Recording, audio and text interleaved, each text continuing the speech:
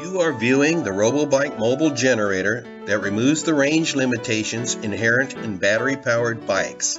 The trailer was designed by a lifelong mechanical engineer using a combination of CAD, simulation software, physical testing, and road test. This trailer was years in the making, and by using a passive damper and inherently stable design, the ultimate in control is achieved.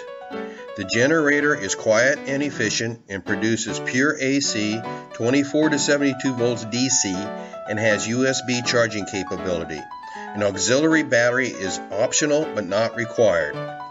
In the next nine months, we expect to further improve the design by fitting a molded shell, allowing for the folding into its own carrying case, and adding a processor with full forward controls. Your investment in this project will go a long way to making that happen. Thank you very much from the people at RoboBike.